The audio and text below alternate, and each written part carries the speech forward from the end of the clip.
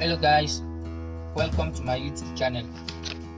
After we've explained the concept of construction engineering today i will be elucidating building services engineering bse yeah as the name implies building services engineering. Is a kind of engineering that deals with building services. So, as I said earlier in our last class, I said building services engineering is divided into two divisions. We have the mechanical engineering and the electrical engineering. That is why generally building services engineering is also known as M and E engineering. But in some parts of the world, it's also being called MEP engineering or MEPF engineering. Basically, there are four major services performed by building services engineer. One, project designing and drafting. Basically, this is actually where freelancing and outsourcing comes in. As an MEP engineer, you have the opportunity to become a freelancer.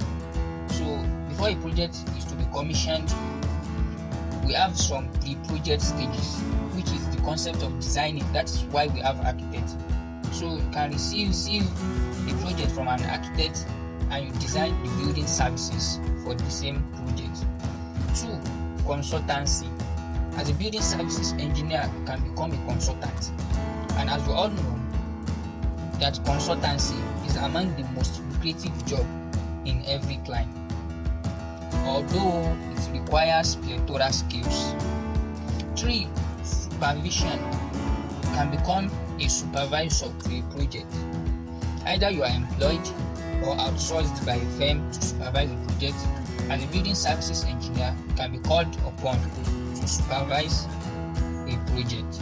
And the last of them were all, commissioning and maintenance. Test, commissioning and maintenance.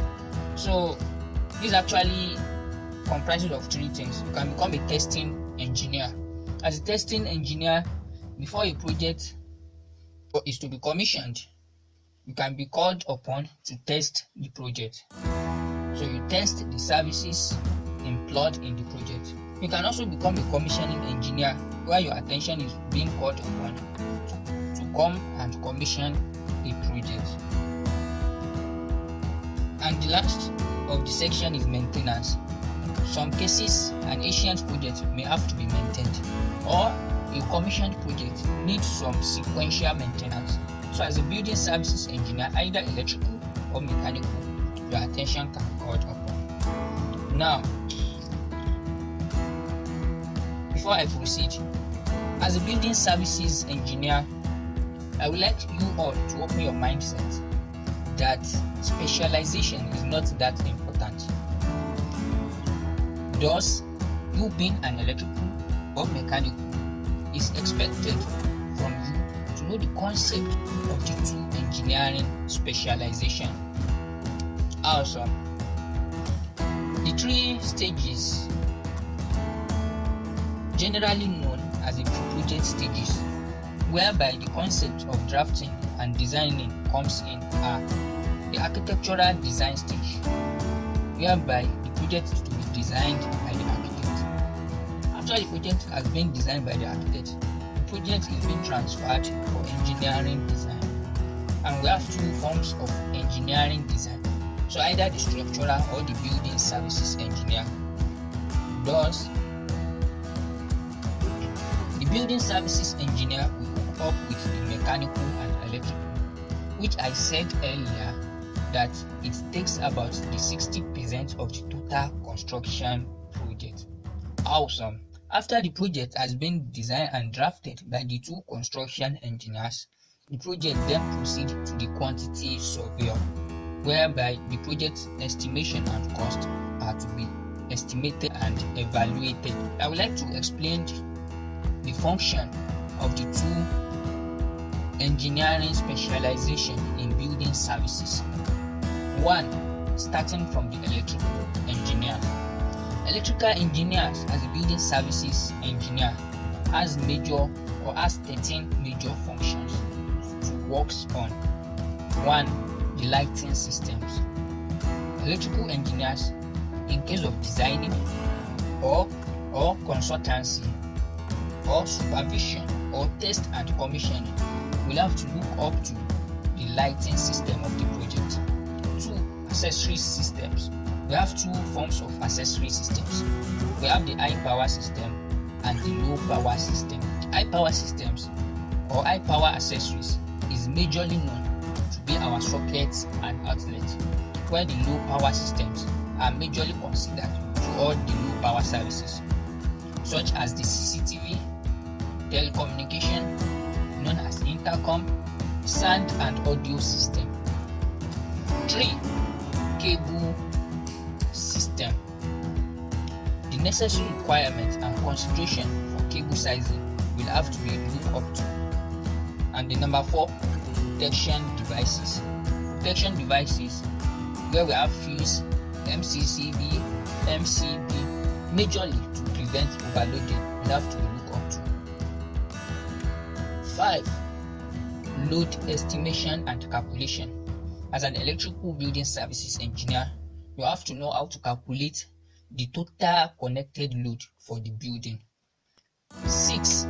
Voltage drop and short circuit. As building services engineer, the voltage drop in the cable must be balanced to standard. And we still have the feeding system, whereby the distribution concept will be expatiated. We still have the emergency system, majorly industrial or commercial apartments. Emergency services are required. Thus, as an electrical building services engineer, provisions will have to be provided. 9. Fire protection system. The concepts of smoke detectors, fire alarm systems, fire control panel will have to be discussed. 10. Power factor correction. This is basically a broad concept where different types of power will be explained. The 11th on the list is the earthing system, also known as grounding system majorly to prevent fire hazard or shock hazard. The 12th on the list is the automation system, also known as BMS, or the newly invented systems, majorly the open protocols, whereby you design and integrate the system. This is basically the concept of smart house or smart homes. The last of them all, making the 13th on the list, is the shop drawing and other services. As an electrical engineer, shop drawing must be provided for other external or newly invented services, where we have the escalator, elevators, etc. These are the 13 basic things required from an electrical building services engineer. What of the mechanical building services engineer? We have basic six functions or areas of studies for a mechanical building services engineer. 1. Water supply system 2. Drainage system 3. Medical gases systems whereby different kinds of medical gases will have to be designed, supervised, tested and commissioned. The fourth on the list is the natural or low pressure gases systems. 5 the fire suppression systems, where we discussed the sprinkler, pipe for water systems, and gaseous systems.